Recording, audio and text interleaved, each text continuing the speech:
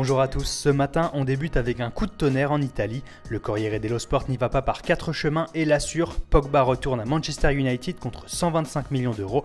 Plus de place au doute pour le journal qui voit ce transfert comme définitivement bouclé alors qu'on parlait hier soir d'une première offre de 100 millions d'euros repoussée par la Juventus. D'ailleurs, les autres journaux italiens parlent du dossier Pogba mais restent plus mesurés. Tout au sport par exemple se contente de dire que le milieu français a réclamé un départ à sa direction. D'ailleurs, les Bianconeri lui chercheraient déjà activement un remplaçant et selon le quotidien turinois, la vieille dame pense au croate Marcelo Brozovic de l'Inter Milan.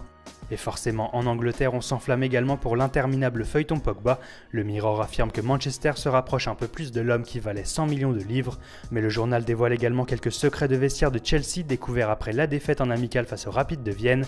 Antonio Conte penserait notamment à instaurer un nouveau système chez les Blues, pas de 3-5-2 comme avec l'Italie, mais bien un 4-2-4, alternative très offensive au 4-4-2 à plat. Dans ce système, Chelsea devrait d'ailleurs s'appuyer sur Diego Costa annoncé avec insistance sur le départ, notamment vers l'Atlético Madrid. Des rumeurs qui font enrager les pensionnaires de Stamford Bridge. Les Blues auraient menacé les dirigeants colchoneros de les dénoncer à la FIFA s'ils continuent leurs approches auprès de leur ancien buteur. Le Sun qui publie également des photos volées des vacances de Paul Pogba, décidément partout ce matin. On le voit à Miami avec Romelu Lukaku, cigarette électronique à la bouche, des photos qui, selon le tabloïd, devraient faire enrager José Mourinho.